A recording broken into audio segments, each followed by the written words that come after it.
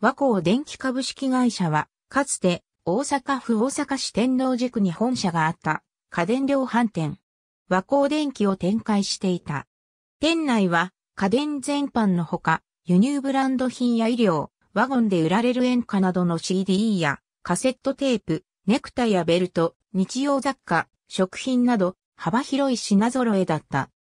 バブル以降の不景気な頃でも特別ご招待会等のイベントを毎月一度開催し、ダイレクトメールの封筒を持ってきた顧客には必ずノベルティを申請していた。そのノベルティの数量は半端でなく1回50万個を超えていた。これは近所の主婦たちの楽しみでもあった。ダイレクトメールはチラシに加えて、心身障害者団体の定期観光物が同封され、一般の郵便物や通常の第三種郵便物に比べてはるかに廉価である心身障害者用定量第三種郵便制度を利用して発送されていた。和光ゴールデンカードという会員カードを無料で発行。店頭では一般価格と会員価格が表示されていた。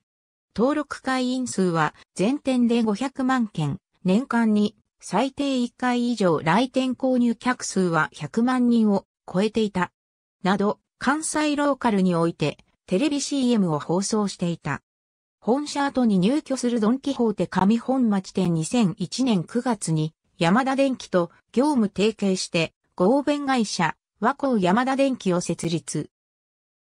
和光電機の10店舗を承継したが、2002年11月までに、そのうちの7店舗が閉鎖された。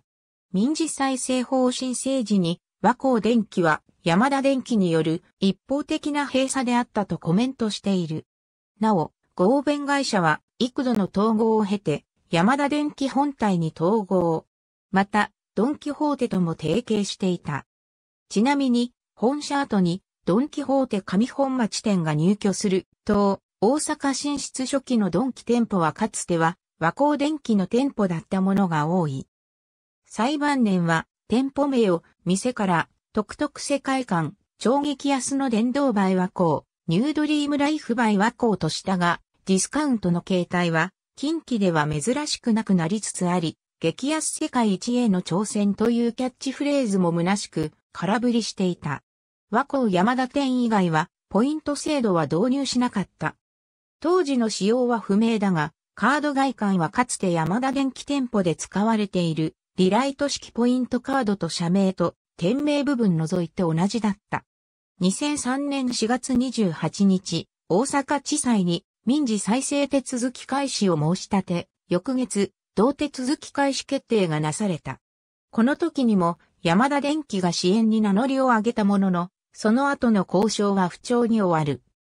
さらにその下中の2003年6月、破綻当時の代表取締役社長であり、個人としても民事再生手続き開始決定を受けていた鎌田圭一が民事再生法違反の被疑事実で大阪府警に逮捕された。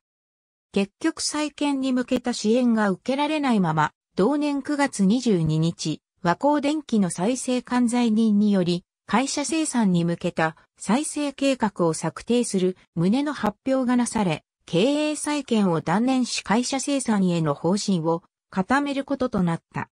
2005年11月15日で解散。2006年2月22日に生産を決了した。ありがとうございます。